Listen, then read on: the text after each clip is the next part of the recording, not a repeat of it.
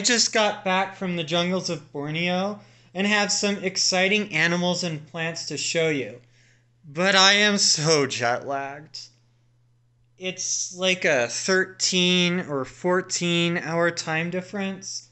So I'm going to sit back and relax and and see what's see what's on the TV.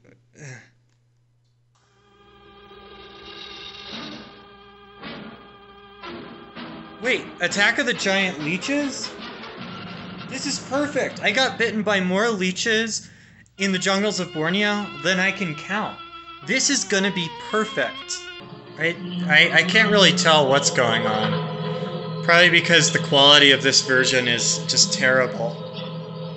There's a guy, though. Oh, what's that? Looks like an alligator. Maybe. I'm gonna blow a hole in it. Well, well, the quality of the video makes it so that I'm not sure what he saw either.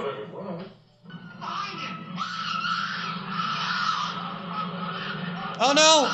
Oh no, the leeches got him! Oh, it's the lair of the leeches. There's like one on land. Oh look! Oh honey, I'm home. I brought I brought two fishermen. Look at those leeches go. Just you know, a cup from everyone.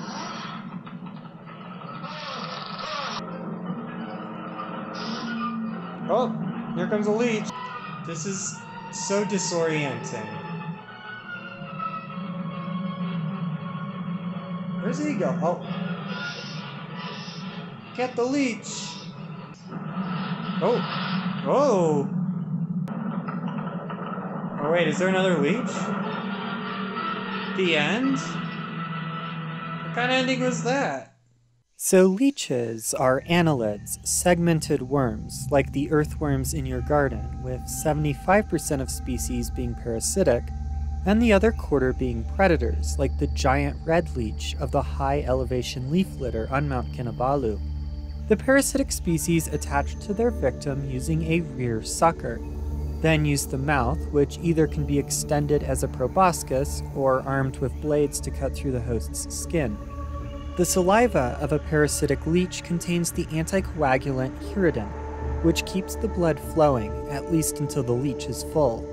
In the rainforests of Borneo, leeches like this Haemadipsa often sit on foliage along both hiking and game trails, waiting to detect movement.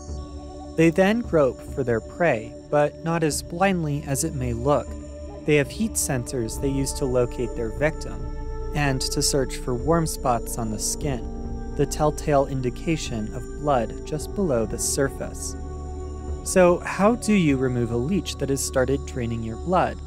Well, you can always just let the leech feed. As they drop off once done, parasite and host going their merry way after a few minutes of very personal interaction. But people generally want to keep their blood inside them and not share with parasites. And because leeches use hirudin, the small bite they use to get their meal bleeds and bleeds a lot. Most people like to keep their clothes from getting completely blood stained because blood is really hard to remove from fabric. So, preventing leeches from attaching and removing them quickly is good. This is where, since I actually gave a bit of blood and sweat to the making of this video, that you know, click on that subscribe button and the thumbs up and that dumb little bell that I know you don't really want to press. I'm sorry, I fed myself to a horde of jungle leeches. Please help me out here. Okay, so when a leech does bite into you, the simplest way to remove a leech is to use your fingernail to go under one of the suckers and detach the leech. This is quicker and more effective than yanking on them. But, word of warning, leeches are really good with those suckers, and getting them off their feeding area often means they'll be on your hand. I found flicking to be the only really viable way to get a non feeding leech off and back into the jungle. And still, sometimes the leech could hold on. I mean, it was kind of impressive. There are a lot of other ideas suggested for removing leeches, like dousing them in alcohol, burning them off with a lit cigarette, but in all honesty, just using your fingernails is so quick and easy, these seem excessive. As for keeping leeches from attaching in the first place, You can go with unpleasant chemicals like DEET, but you can also use special leech socks, which keep them mostly at bay.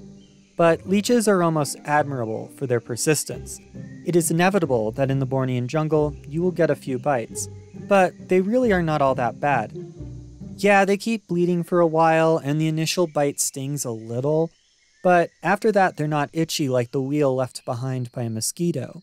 Nor do leeches carry dangerous tropical diseases, so are at the worst an annoyance out in the forest. That is my review of being attacked by leeches. 6 out of 10. Would deal with them again.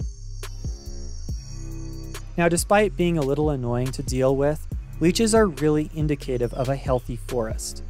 This can make these organisms really great for biodiversity monitoring, as collecting samples from leeches has been shown to be a way to survey biodiversity of large and hard to locate mammals, giving scientists a way to study biodiversity in jungle settings. I cannot really get away with, of course, going beyond modern genetics with leeches, as they have long been used by people for all sorts of medical purposes, like removing bad humors, which is not letting leeches have at people who tell too many bad jokes like myself, but a discredited medical system thought up by the Greeks that was assumed by modern medicine in the late 19th century.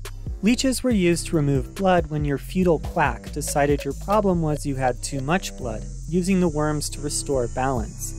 Leech treatments were so popular that places like Great Britain were over harvested for wild leeches and so they had to be imported as they were such a hot commodity. Like leeches were overexploited by humanity. Wow. However, as humoral theory and medicine was replaced by modern medicine, demand for leeches fell. That said, they have made a bit of a comeback in medicine, as leeches feeding and injecting hirudin has been shown to reduce swelling and increase circulation, giving them a place in modern surgery.